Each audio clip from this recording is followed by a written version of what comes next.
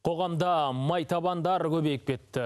Қадамды қисайтып жүріс өзгертетін бұл дөрт әсіресе балалардың арасында дендеп барады. Содан жастарымыз не спортқа бейімес, не әскерге жарамай жатыр. Ал дәргелер бұл ауруға салғырт қаруға болмайды. Дергезінде қарсы тұру керек деп дабыл қақты. Майтабандықтың зияны мен емдеу жолдарын тілшіміз ақан иғлам анықтап қайтты. Сюжетіне зер салайық. Талай жігітті әскерден алып қалған майтабандық бұрын ерекшелік сияқты еді. Қазір екінің бірінің табаны жалпақ. Әсіресе мұндай ауру балалардың арасында көбейген.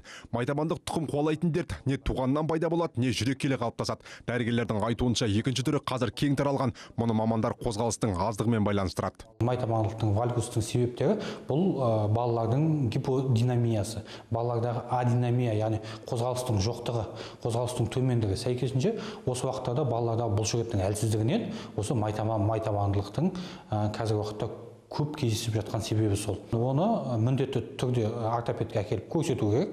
Сосын соны нақтылағаннан кейін барып сол бойынша жұмыстану қажет ортопед мамандар емдеудің түрлі тәсілі бар дейді. Дегенмен ересектерді майтабаннан арылту қиындау көрінеді. Сол себепті көбінесе отаның көмегіне жүгінеді. Ал жас балаларға арнайы массаждар аяқты дамытатын ойындар арқылы көмектесуге болады. Ал мұндай ауруға шалдықпас үшін аяқ киімге де мән беру қажет. Ең бастысы аяқ киім мысалы ыңғайлы болу керек. Жаңағы басы қысыңқы емес жүрген кезде саусақтың бастары қысылмайтындай аяқты қыспайтындай мысалы өлшемі аяқ киімнің размері. Арнайы ортопедиялық аяқ киімдер керек. Егер де жаңағы табан тобық буындарын қандай да бір патологиялары болса.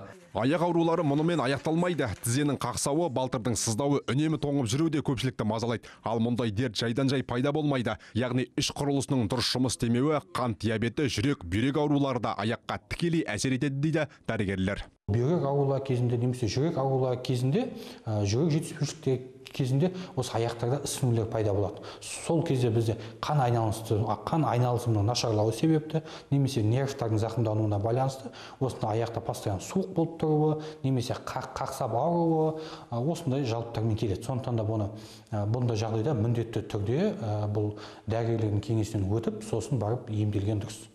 Дегенмен ауырып ем іздегенше ауырмайтын жол іздеуге болады. Түрлі дерттен аулақ болу үшін мамандар жаяу жүруге кеңес береді. Үнемі массаж қабылдауды да әдетке айналдырған жөн. Әрдайым массажистің процедурасынан өтуге мүмкіндік болмаса арнайы аппараттарды да қолдануға мүмкіндік бар.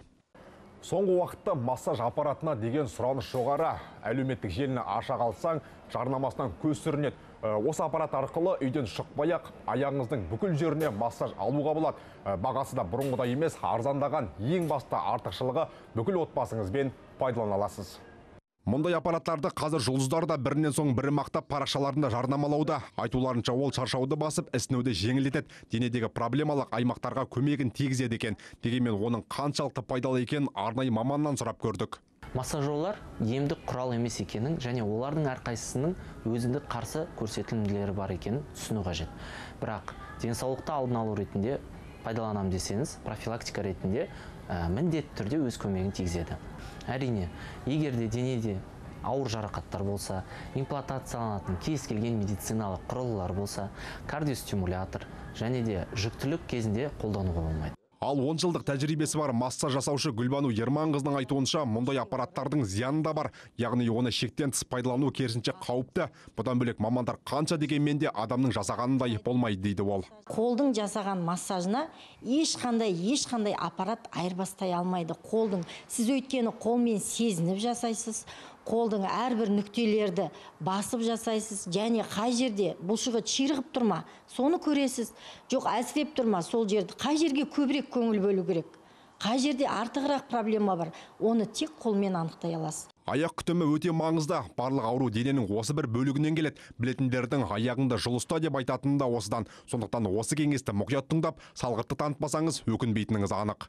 Ақан иғлам дастан әлішев еуразия бірінші арнасы.